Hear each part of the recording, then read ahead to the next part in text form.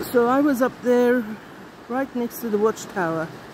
Actually, I came through it because there was a corridor under it and and it's downhill getting to these buildings and a lot of them are you know have doors onto other corridors and things this is the Areuse river which I was in this morning as well. I, I saw it.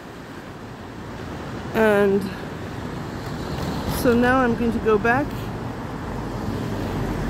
and, and hopefully catch my bus. I've had a full day.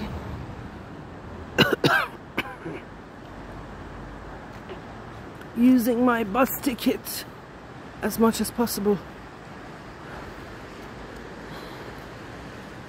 This is Boudry for anyone who wants to come here during the summer.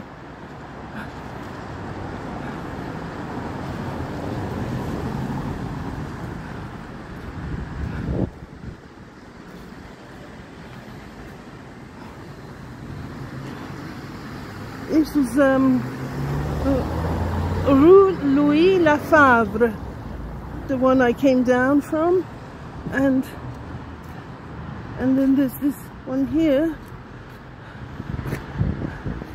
which has all the shops, and see Louis Lafavre, Favre, and then this is Rue Huguenin, Huguenin because the Huguenots, funnily enough, came here and took refuge in in these parts.